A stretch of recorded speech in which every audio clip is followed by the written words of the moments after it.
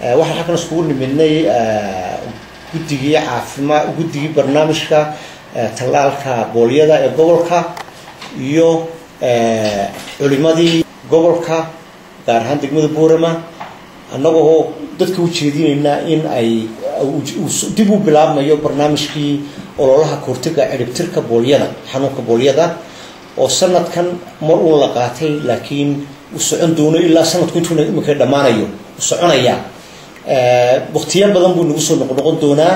Haddii ilaaha yidhaahdo bisha abril buu soo noqon. Waxaa laga yaabaa qiimeyn baa la samayn. Haddii ay qiimeyntaasi soo saarto markaa in uu barna inuu inuuna jermiskaasi joogin somaliland ama soomaaliyaba waxaa laga yaabaa markaa inuu ka yaraado haddiise uu joogo waa la joogtayni iminka waa bille laakiin waxaa laga yaabaa haddii barnaamijkaasi uu soo baxo in laga dhigo weekly laba wiigba mar labadii wiigba mar. Waayo waxa weeyaan waa xoojin waa lagu soo celcelinaya ku soo celcelintu maaha dhib laakiin waa uun xoojin qofka dareenkiisa la sii xoojinayo la dardargeynayo laakiin wax allaala waa laba dhibcood oo biyo ah oo dawa uun la socoto labadaa dhibcoodi way dardargeynayaan uun qofka jirhkiisa dareenkiisa ku jira ee kahortega difaaca awooddiisa difaac unbay dardargeynayaan laakiin wax kaloo dhiba umale haddiise laga waayo soomaaliya bisha juun ama bisha may haddii laga waayo waa laga yaabaa markaa inuu hoos u dhaco.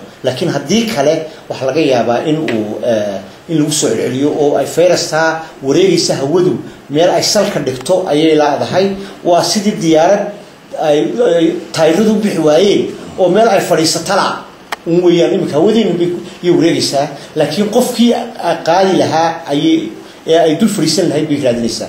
Marka yani waxay taasi muujinaysaa somaliland sida ay uga friiga tahay xanuunka ee looga celiyey ee dadweynuhu iyo qolada caafimaadku iyo hay'aduhu iskaga kaashadeen ee ay arintaa u difaaceen. Ilaahay baa mahadle runtii ilahay baa ka difaacay. Laakiin calaamadihii waxaad arkaysaa ka hortega oo wada hirgalay waayo haddii kale maalin walba waxaan ku soo toosi lahayn ama maalin walba waxaan arki lahayn iyadoo ay toban caruurii dhakhtarka boorama jiifaan ama wadaada loo geynayo la dabiibayo ama yani dhaqan imikood arkaysaa generationka tobankii sano u dambeeyey lagama yaabo inaad aragtaan dadweynuhu ina arkaan ama ay qof ilmo yar oo lugiya gacan beelay oo shan sano ka yar arki maysid marnaba arki maysid iskuma arkaysid somaliland ku arki maysid oo yarta hadday waa mid iyo labo qarsoon oo dee xanuun kale ku dhacay baa laga yaaba laakiin xanuunka boolyada la yidhahdo weli free baan ka nahay. Waxaan ku dadaalaynaa in weliba free ka sii ahaano haddii ilaha yidhaahdo. Bilaha soo socda.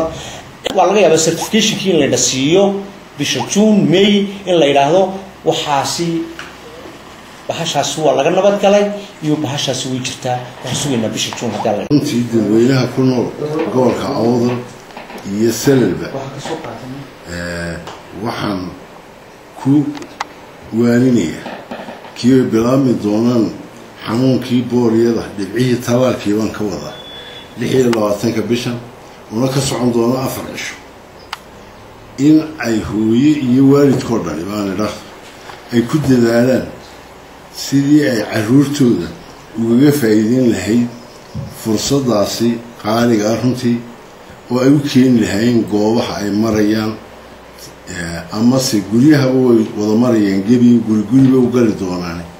In aanan qofkii shaqaalaha caafimaadka ee hawshaa ay lahay lagu dhibin ama albaab ha noqoto ama waxaan soo noqnoqonaya waa maxay kelmado nacam waktigii ridaya inay bulshadu iska ilaaliso oo ilmihii ka yaraa shanta sannadood. Labadaa dhibcood ay u sahasho sidii loo siin lahaa. Labadaa dhibcood oo runtii dhibaato weyn oo ilamaa iyo dhinac bakti keeni kara ka hor joogsanaya soo noqnoqoshada uu soo noqnoqonayo xanuunkan dabaysha tallaalkiisuna wax kale maahine. Waa in la xoojiyo difaacii jirka. Si berri ka maalin haddii fayrastaasi keenaysay ay soo gasho dhulkeenna qofkii awoodii u heli karo inuu iskaga difaaco xanuunkaasi ama aanu kuba dhicinbaba xanuunkan dabaysha wakhtiyadii hore dee laguma baarki jirin somalilan laakiinse muddooyinkan dambe oo sannadkii dhammaaday oo kale waa kii kaysas lagu sheegay dhinaca laascaanood soomaaliyana aada bay u badnay markii u dambaysay boqol iyo dhowr iyo toddobaatan bay maraysay runtii. Marka inta gobolka kula jaarka ama waddanka kula jaarka ama ay ku jira xanuunkaas dadkiina ay isku dhex soconayaan. Oo masalan ka maanta hargeysa joogay berri tooliyo xamar joogay boorama maanta joogay uu berri tooliyo joogayo etoobiya waa xanuun laga gudbin karo waddan ilaa waddan oo fariskii lafteedii ayaabaa la qaadayaa meel kale la geenayaa imported ku noqonaysa. Marka si dhibaatadaa badan aan uga badbaadno hadduu eebe idankii ay noqoto in bulshadu ay ku tala gasho afartaa cisho sidii ilmaha shanta ka yar loo siin lahaa ayaan ku boorinayaa dhammaanba dadweynaha ku nool gobollada awdal iyo salilba wax awdal iyo saliluna maahine anuu afka awdal iyo salilun baan ku hadlaya waa ilaa somaliland oo dhan weeyaan moogtay runtii markaa bulshadu ha u diyaargarowdo wasalaamu calaykum arrintan maanta halkan isugu nimidnay ee xafiiska iskuduwaha caafimaadka waxa weeyaan arrin muhiima oo ah yana in caafimaadka bulshada khaas ahaan caruurteenna oo ah yani ubaxii maaragtay u soo kaciyay waddanka iyo beerkeennii oo dhulka socsocda sidii aan maaragtay xanuun ugala dadaali lahayn ilaanana ma jeclo ilmihiisii oo dhinac baktiisan oo xaafadda u jiifa ma jeclo dhib badanna way ku keenaysaa ku talana way ku keenaysaa in haddaba wixii xanuunkaa lagula tacaalayay aan u heegnaa heeganaa heegan u ahaanaay waa wax muhiima aslan xanuunada ilahay baa soo dejiya subxaana wa tacaala oo qadarka ilahay bay ka mid yihiin haddana nebigu wuxuu inoo sheegay alayhi salaatu wasalaam ilaaha maarata xanuunka soo dejiyay ayaa dawadana soo dejiy marka in lala tacaalo oo xanuunkii ilaahay keenay dawadii ilaahay keenay lagula tacaalo waa wax layna faray weeyaan. Saasuu rasuulku yii isdaweey caddoomihii ilaahayow yani xanuun kasta oo aan maaratay dhimashada iyo gabow ahaynba daway leeyihiin maarataan isdaweeya. Xanuunkan gaar ahaan maanta aan ka hadlayno oo aboolyadana waxa weeyaan xanuunka de ku gaarka ah carruurta ee dhinaca baktinaya runtii ninkii arkayna uu arkay maarata caruurtiisa qayb ka mid ah kaga dhacay ninkaan aragna dee kuwo kale oo dhibaatada ku dhacda u arkay aada buu dhib badan yahay. Marka waxa weeyaan xanuunkaas inaan maarataanay ka hortagnahay aada iyo aad bay inoogu tahay daruuri. Maxaa yeelay nabigeenu alayh isalaatu wasalaam isaga inagu booriyay inaan isdaweyno caam ahaanna dawada waxa ugu muhiimsan baa la idhahdaa ka hortega dawada waxa ugu muhiimsan ka hortega oo waxaa la dhaha alwaqaayatu khayrun min alcilaaj yani xanuunka ood marka horeba iska ilaaliso oo wixii hortega aada samayso ee ku caawinaya waxay ka muhiimsan tahay markuu ku dhaco daweynteeda dambe. Waxaa ka muhiimsan ka hortegaas marka waxaa laga yaaba dadka in badan inay tiraahdo maarataanay maxay tahay soo noqnoqoshadani waa run waa maaratay wax la isweydiin karo. Laakiin sidaa uu dee dhakhtaradba sheegeen ama maarataanay maaratay mas'uulka xagga boolyada. Yana ku celcelintani waxa weyaan inaan difaaci jirka la xoogeeyo mar walba.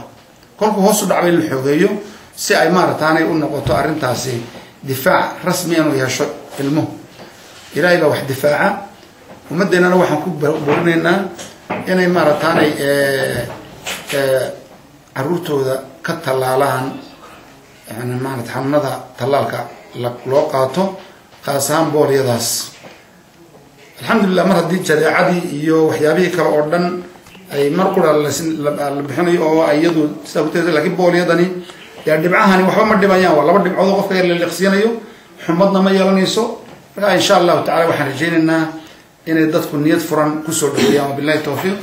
Waxaan ka hadlaynaa waxa weeyaan sidii ciyaalkeena caafimaadkooda aynu ugu hortegi lahayn. Waxaanu ka hadlaynaa waxa weeyaan xanuunkan boolyada oo la bixinayo tallaalkiisii si ka hortag ahaan loo siiyo. Waxaana ku boorinayaa anu kolley inkastoon hooyo ahay oo hooyadu dhibka badan ku dhacdo.